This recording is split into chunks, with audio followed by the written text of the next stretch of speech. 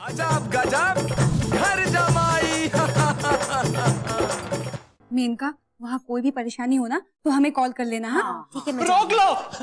मे, मे, मेनका जी को रोक लो। मेरा अरे क्यों रोक लो? मेनका जी आपको अकेले थाने नहीं जाने दूँगा मैं। अरे कैसी बात कर रहे हो चिंटू बेटा? जब थाने से फ़ोन आया है तो जाना पड़ेगा ना। जाओ बेटा जाओ। नानी जी मैं भी तो वही कह रहा हूँ सच में फ़ोन आया थाने से। तो हम कौन सा मान रहे कि झूठ में फ़ोन आया था बेचारी को? अरे मैंने फ़ोन नहीं किया सच में फ़ोन। पुलिस स्टेशन से रोक लो।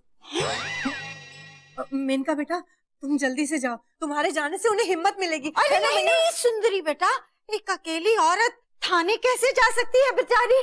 मैया लेकिन जब एक अकेली औरत यमराज से लड़ सकती है अपने पति के लिए तो फिर थाने क्यों नहीं जा सकती?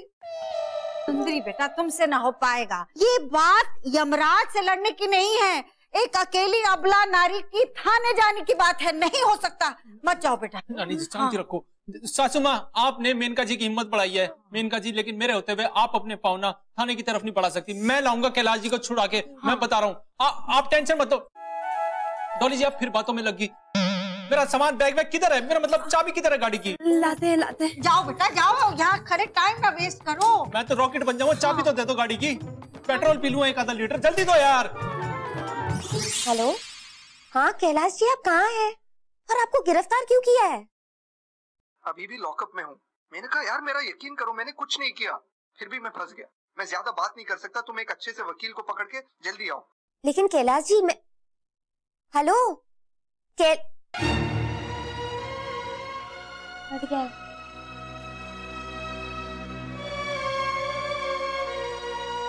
बेटा फ़िक्र मत करो। चिंटू जमाई गए हैं ना वो तुम्हारे पति को छुड़ा कर लाएँगे। भरोसा रखो। हाँ, नानी जी मैं चिंटू जी को जानती हूँ। मुझे इन पे उन पे बिल्कुल भी भरोसा नहीं है। बेटा हमारे जवाई पर भरोसा मत करो। भगवान पे तो भरोसा करो। हाँ। मेनका तुम बस अपना व्रत पूरा करो। भगवान ना तुम्हारे सारे दुख हर लेंगे। आज के दिन किसी भी सुहागन को निराश नहीं करते हैं भगवान। हाँ बेटा। अच्छे से करना। चिंटू जी का फ़ोन आया? हमने फ़ोन किया था उन्हें लेकिन वो फ़ोन नहीं उठा रहे। मम्मी और कुछ चाहिए आपको?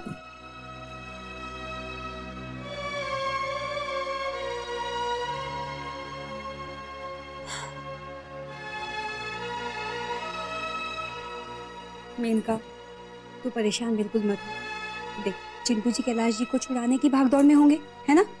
और हमें पूरा विश्वास है। चिंटू जी कसौटी ज़िंदगी की पर खरे उतरेंगे। और देखना सास भी कभी बहू थी मैं जैसे मीर जी वापस आए थे ना कैलाश जी भी वैसे ही वापस आ जाएँगे। डॉली तेरे चिंटू जी ने तुझसे कितने वादे किए? कौन सा वादा पूरा किया है जो वो मेरे पति को ढूंढ के लेके आएँगे? नहीं नहीं महँगा हमें पूरा विश्वास है चिंटू जी पर चाहे कुछ भी हो जाए वो कैलाश जी को वापस लेकर ही आएँगे। उन्होंने आज तक हमें निराश नहीं किया आज भी नहीं करेंगे। मेनका टॉली बिल्कुल सही कह रही है। चिंटू जमाई जी गए हैं ना कैलाश जी का पता करने? सब ठीक हो जाएगा। आज करवा चौथ का उपवास है तुम्हारा। ऊपर वाला सब ठीक करेगा। उसी बात का तो बुरा लग रहा है कि आज करवा चौथ है। पता नहीं कैलाश जी कहाँ होगे किस हालत में होगे। कोई बात नहीं। आज तुम्हारा उपवास है। पूरी श्रद्धा के साथ पूजा करना। भगवान सब ठीक करेंगे। टॉली हम बाहर सजावट करके आते हैं। तुम चिंता मत करना हाँ? हम भी मम्मी की मदद करके आते हैं। तुम चिंता मत करना हाँ? सब ठीक होगा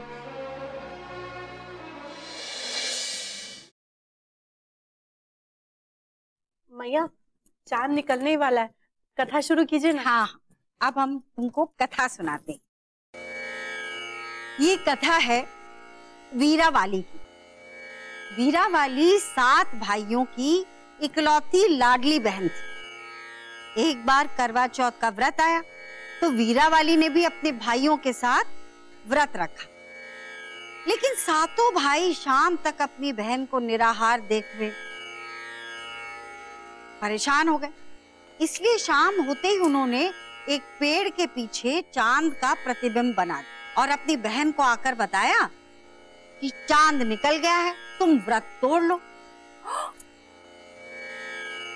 तो वीरा वाली ने अपना व्रत तोड़ दिया और ऐसा करते ही वीरा वाली के पति के सारे शरीर में सुइयाँ चुभ। उन सुइयों को निकालने में पूरा एक साल लग। मगर पति, उसका अभी भी बेहोश था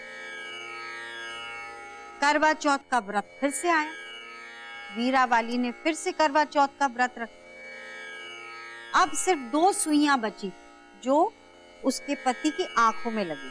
और वीरा वाली ने दासी को छोड़कर करवा चौथ के व्रत की तैयारी करने लगी। दासी ने क्या किया? वो सुइयाँ निकाली, उसके पति की आँखें खुली तो पति ने सोचा, यही मेरी पत्नी है।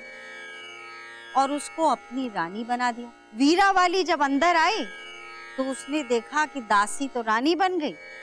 और वीरा वाली बन गई दासी। तो राजा ये देखता था कि एक गुड़िया थी, जो उसके पति ने उसे शादी पर तोहफे में दी थी। उससे अपना सुख दुख बांटती।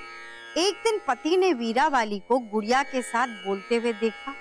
वीरा वाली कह रही थी, दासी से रानी हुई और रानी से दासी। पति ने जब ये सुना तो वो समझ गया कि यही मेरी असली पत्नी है।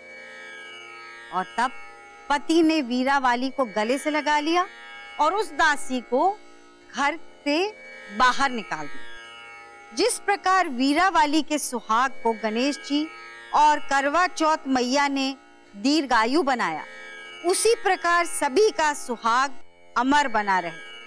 बोलो, माता रानी की जय!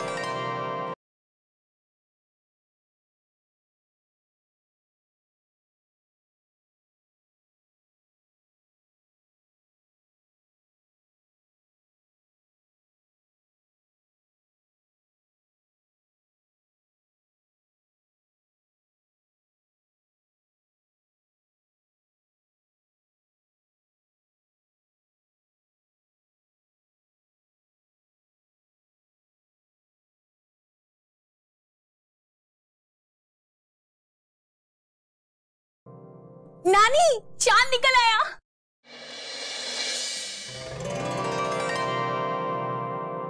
अजब गजाब घर जमा